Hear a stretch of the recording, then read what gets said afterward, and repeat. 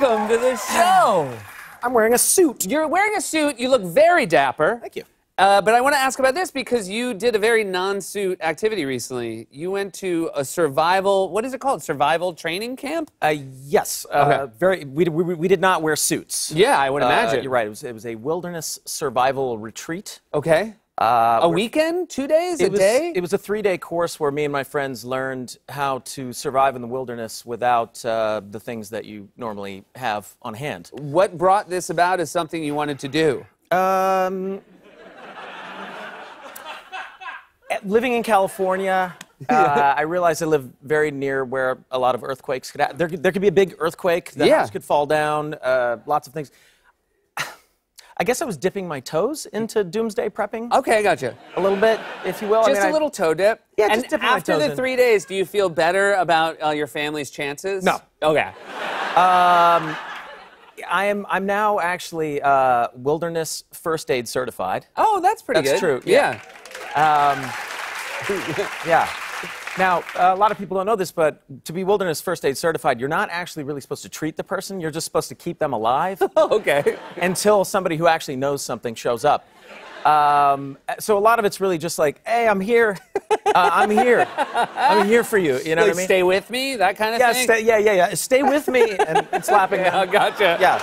Don't you, don't you leave me. Yeah, don't you die on me, Don't you, son of a die. Oh, that's a good one. You yeah. son of a bitch, right? Yeah, that kind of thing until the chopper shows up. And then, and then you're like, I'm out of here. Wow. Uh, but yeah, no, yeah, I, I guess I just felt like I, I wanted to make sure that I knew how to do basic things that I, I, yeah, Yes. we got so comfortable in society. You know, we have running water, and I, I didn't realize, you know, I ask a lot of people, like, what's the first thing that'll kill you if you're lost in the wilderness and, and you're injured? And most people say, well, you'll, you'll, you'll, um, you'll run out of water. So you'll be very, very thirsty, and you'll die of um, whatever that's called when you die of not having enough Yeah. water. And uh, it's actually exposure. Just to, the elements. To the elements. Yeah, so if you sleep on the ground and you know it's warm outside, if it gets cold at night, you'll die because the, the ground will freeze you to death. So you got to build a you got to build like a, a thing and put lea- and put leaves in there. You know Wow. I mean, And so that but you'll die later of Lyme disease because there are ticks in the leaves.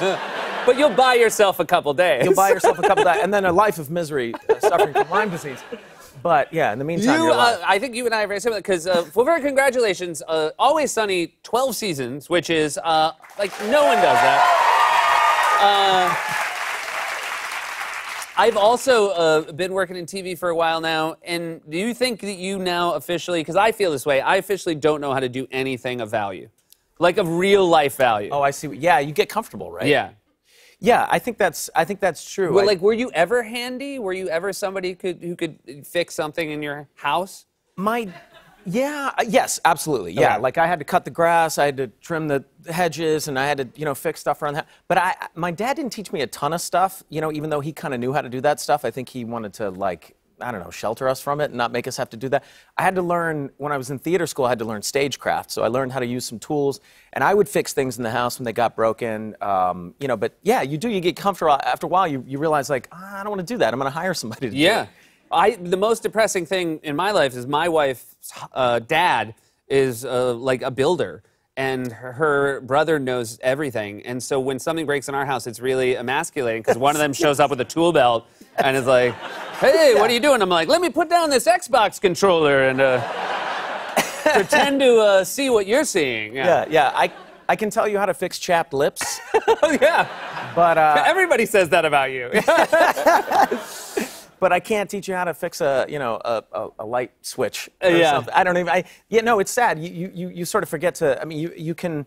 I think uh, to a certain degree we all suffer from this, but if you start to make a little bit of dough, you start to realize, oh, I'll pay a guy to do that. I'll pay a guy to do this, and I'm worried that I'm not going to teach my kids because I have two. I have two boys. yeah You know, and I, like I said, I used to cut the grass and all that. And I'm like, I don't want them cutting my grass because I don't want them messing up my grass.